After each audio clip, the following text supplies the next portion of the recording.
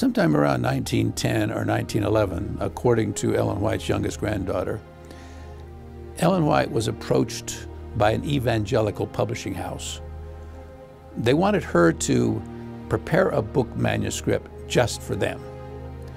Now, when the first edition of Steps to Christ was printed in 1892, it was also printed, or it was printed by an evangelical publisher, Fleming H. Revell.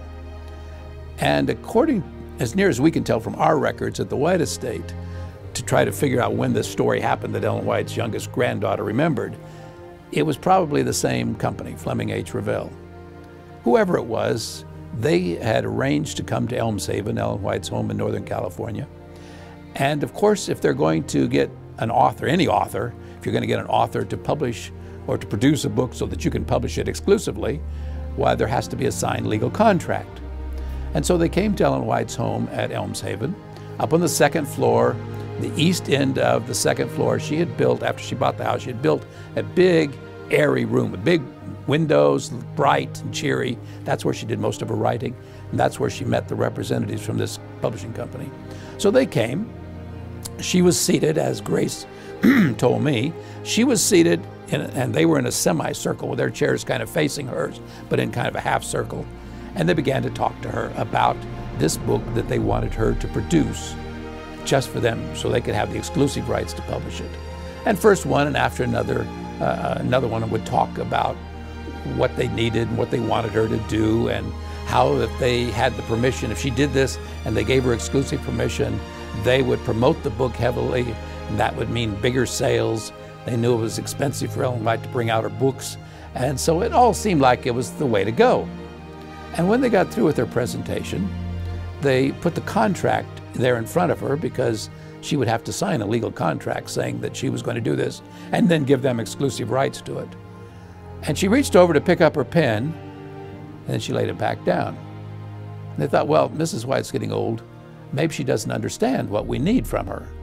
And so they briefly went through the proposal a second time. Now, this time it was apparently not as detailed as the first presentation, but the second time, she didn't even pick up her pen. She just changed the subject tactfully, started talking about something else.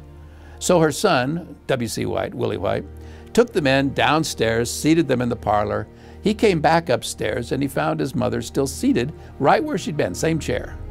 And he knelt down next to her and he said, Mother, uh, you understand why these men are here? Yes. You know they want you to produce a book for their publishing company? Yes. Well, you know, if you're going to do that, you need to sign that contract they brought. He said, In fact, I thought you were going to sign it. You picked up the pen and then you laid it back down. Why is that? She said, Willie, as I picked up that pen to sign that contract, I saw an angel standing behind the men gesturing. And I know I'm not to sign that contract. I don't know why, but I know I'm not to sign that contract. Well, Willie knew that if an angel had indicated to his mother not to sign the contract, those men could sit downstairs in the parlor for six months or a year, and they were not going to get a signature on the contract. So he went down and told them thank you for coming, but that his mother was not going to be producing the book for them. Now, what Ellen White did not understand then is very obvious today. Any Ellen White book can be published by any Adventist publishing house anywhere in the world.